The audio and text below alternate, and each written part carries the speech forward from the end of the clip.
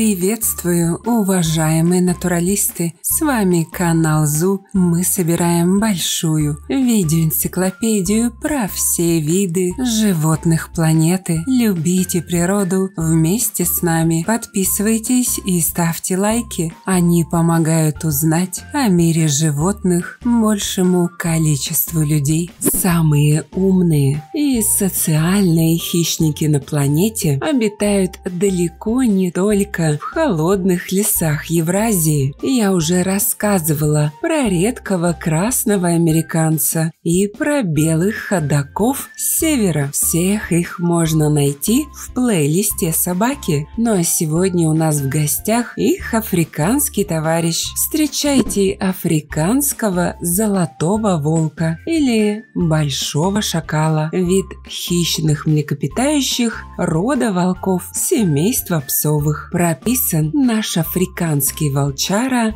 на севере и северо-востоке Африки. Ареал вида занимает территорию от Сенегала на восток до Египта. Встречается в основном в степных и равнинных полупустынных районах. Наибольшая популяция обитает в Танзании на территории национального парка Серенгетти. Кстати, именно золотой волк в Древнем Египте использовался для изображения бога Анубиса, который был хранителем границы между земной жизнью и загробным миром. Впервые этот вид волков был описан в 1820 году.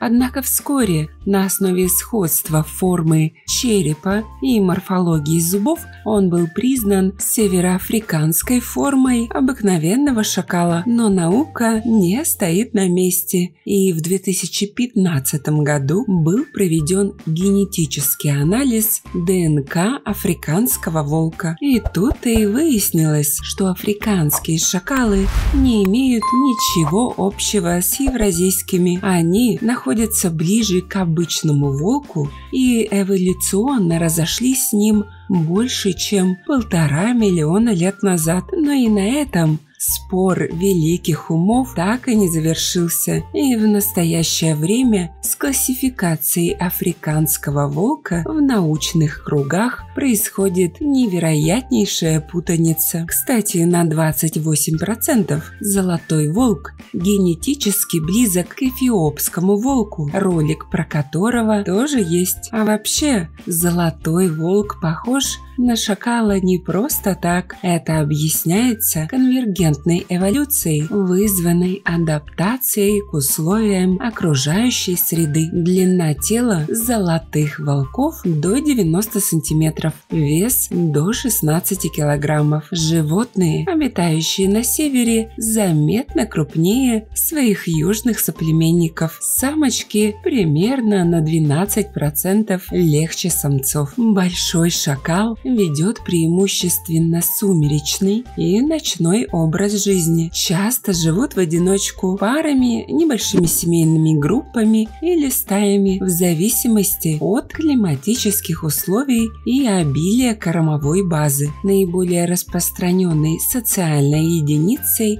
является родительская пара со своим потомством, собственно, как и у других волков. Африканские волки – это очень общительные и весьма шумные животные. Они общаются между собой с помощью разнообразных звуковых сигналов, включающих вой, лай, плач, рычание и даже нечто похожее на истерический смех или хихиканье. А их главными природными врагами являются пятнистые гиены, которые тоже любят похихикать. Хотя кому гиены не враги, это еще надо подумать. В меньшей степени опасность для золотых волков представляют львы и леопарды. Большие шакалы, как и все волки, всеядны. Около 60% рациона занимают различные позвоночные. В повседневном меню преобладают зайцы и грызуны. Нередко они наведываются на крестьянские подворья и загрызают домашний скот и птицу. В прибрежных районах большие шакалы едят рыбу, хотят любви золотые волки, как и большинство обитателей Черного континента, всегда, ибо тепло там тоже всегда. Однако брачный период – на большей части ареала проходит с октября по декабрь. Потомство обычно появляется ранней весной в начале сезона дождей, когда приходят стада копытных животных. В Северной Африке пик рождаемости наблюдается с марта по май. Ритуалы ухаживания африканского золотого волка необычайно длительны. Самец подолгу ухаживает